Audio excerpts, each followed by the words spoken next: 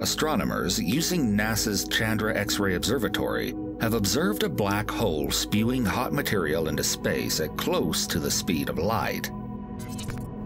MAXI J1820 plus 070 is a binary system made up of a black hole and its companion star. It lies about 10,000 light years from Earth inside our galaxy.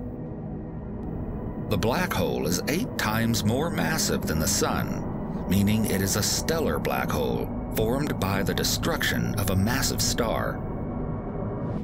Meanwhile, the companion star orbiting the black hole has about half the mass of the Sun.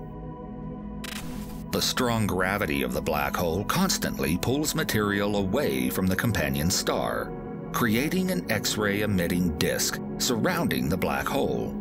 Some of the gas in the disk falls into the black hole, meaning it crosses the event horizon. However, the remaining material gets ejected into space in a pair of short beams of material, or jets.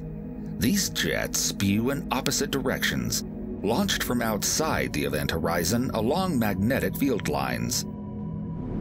The new footage of this event comes as the result of four observations with Chandra in November 2018 and February, May, and June of 2019. The video shows a movie that cycles through the four Chandra observations, where day zero corresponds to the first observation on November 13, 2018 about four months after the jet's launch. MAXI J1820 plus 070 is the bright X-ray source in the middle of the image, and sources of X-rays can be seen moving away from the black hole in jets to the north and south. The binary system is a point source of X-rays, although it appears to be larger than a point source because it is much brighter than the jet sources. The southern jet is too faint to be detected in the May and June 2019 observations. But you might be wondering, how fast are these jets? From our perspective, it looks as if the northern jet is moving at 60% the speed of light. Meanwhile, the southern jet is traveling at an impossible sounding 160% of light speed.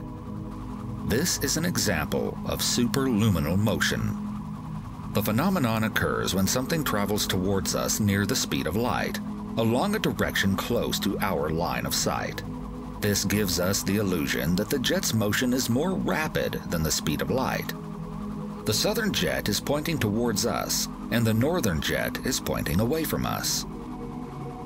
This means the southern jet appears to be moving faster than the northern one. However, the actual velocity of the particles in both jets is the same, it's calculated to be greater than 80% of the speed of light. Studies like this can teach us more about the jets produced by stellar mass black holes and how they release their energy once their jets interact with their surroundings. If you like this channel and want to support us, please subscribe and hit the bell icon.